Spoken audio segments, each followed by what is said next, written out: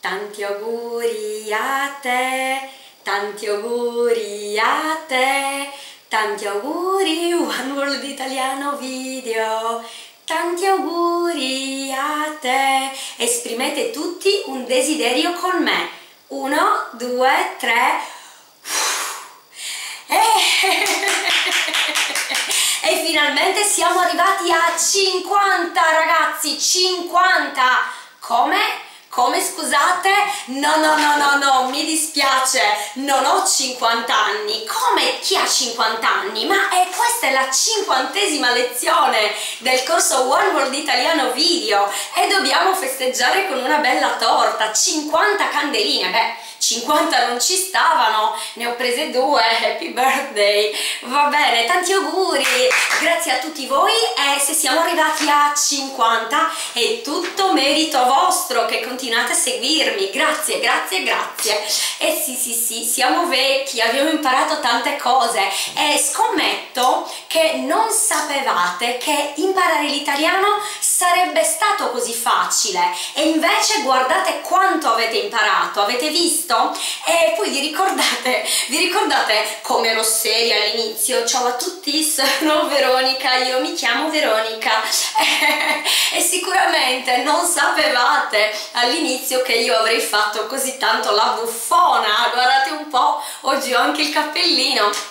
E, e poi tutte non sapevate che eh, sarebbero successe tante di quelle cose, eh, tanti problemi, per esempio vi ricordate quando avevo la febbre, oddio, oppure quando ho perso l'aereo? O quando non ha suonato la sveglia ed ero in pigiama, vi ricordate quanti quanti quanti ricordi, oppure l'altra volta che avevo lo strappo muscolare e sono rimasta così. E va bene, questa è Veronica, questa questo è il mio corso e sicuramente sì, non immaginavate tutto questo, non immaginavate che sarebbe stato così, così molto, come dite voi americani, easy going. Sì, qualche volta mi sono anche messa gli occhiali e ho fatto la seria, ma ehm, questo lo farò la prossima volta, la prossima volta. Ehm, perché la prossima volta? Adesso fra un, fra un, po' ve lo spiego, prima però dobbiamo festeggiare un'altra cosa, che cosa? Che questa è l'ultima lezione del, del livello A2, ok? Quindi adesso voi avete un livello A2 e doppio festeggiamento, la torta per la cinquantesima lezione e il mio mitico Cannonau per il livello A2. Cin cin! Aspettate, no no no no no, non festeggiamo ancora perché voi non avete ancora il livello A2, manca una lezione. E sì sì sì, manca proprio, proprio una lezione. Perché eh, io vi ho anche già preparato il certificato perché dovete sapere che eh, la prossima volta ci sarà un esame.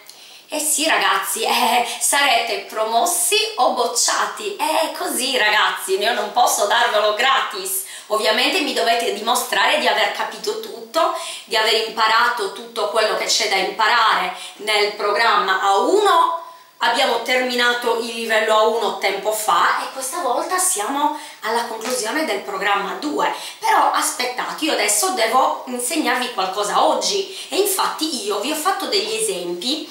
Ehm, io vi ho detto per esempio non sapevate che imparare l'italiano sarebbe stato così semplice, così facile. Eh, perché mm, questo tempo verbale sarebbe stato, che cos'è? Vi ricordate, infatti qua ho scritto lezione 49, la scorsa lezione, eh, insegnato il condizionale composto.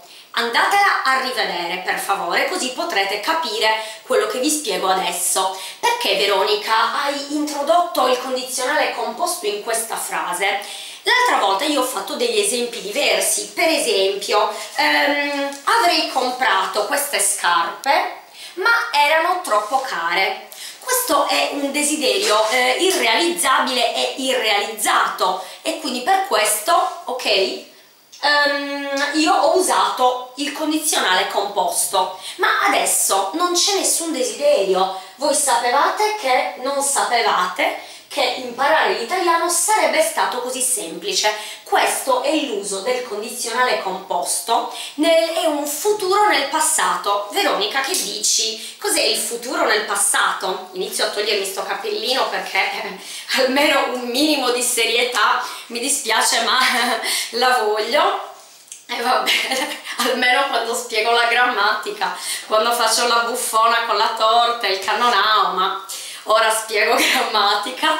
La grammatica è quindi così. Ehm, vi faccio degli esempi, quindi, allora, io che cosa ho detto? Discorso diretto. Mi metto qua.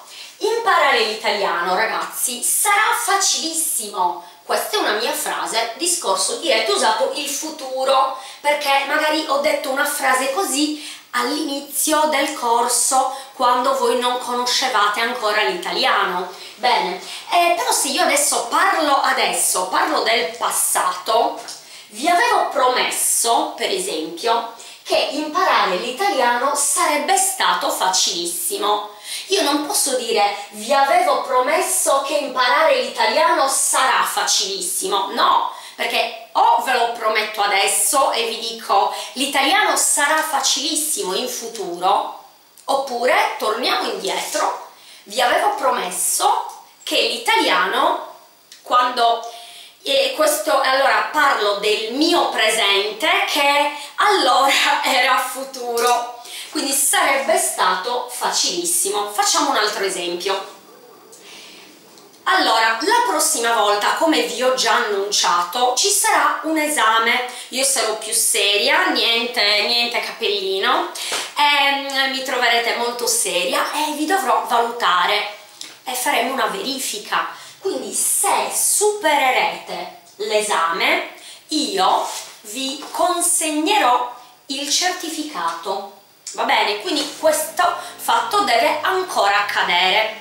Poi magari la prossima volta, nel futuro, se sarete stati bravi, spero di sì, io vi dirò bravi, bravi, bravi, vi avevo detto che forse eventualmente vi avrei consegnato il certificato. Siete stati bravi ed eccolo qua. Quindi io parlerò di qualcosa che avevo detto nel passato pensando al futuro. Esatto. Bene. Un altro esempio io cerco sempre sempre di essere positiva. Io adesso sono sicura che voi supererete l'esame ok? Quindi io adesso parlo sempre del passato, dell'esame, mi raccomando studiate e preparatevi. Ehm, la prossima volta parlando di quello che avevo detto nel passato, cioè oggi, pensando al futuro, io dirò ero sicura che voi avreste superato l'esame. Non posso dire ero sicura che voi supererete l'esame, no, perché l'avete superato. Io dirò questo forse, io vi dirò l'avete superato, bravi, ero sicura che avreste superato l'esame. Ok, cercate di capire questo meccanismo, è molto semplice, andate a rivedere la lezione 49 rivedete bene il condizionale composto, poi rivedete anche il condizionale semplice, ovviamente. Dovete conoscere il condizionale per poter ehm, costruire una frase come questa e mi raccomando rivedete tutto, tutto, ricordate che la prossima volta ci sarà un esame, quindi studiate, studiate, studiate. Oh ragazzi, a me è venuta fame però, eh? è ora di cena e io ho questa torta di fronte, mm, l'assaggio. Mm, non mi avevano detto però mm, che questa torta, scusate, mi è, venuta, mi è venuta fame sarebbe stata così buona. Quindi ragazzi io vi saluto. Mi raccomando studiate.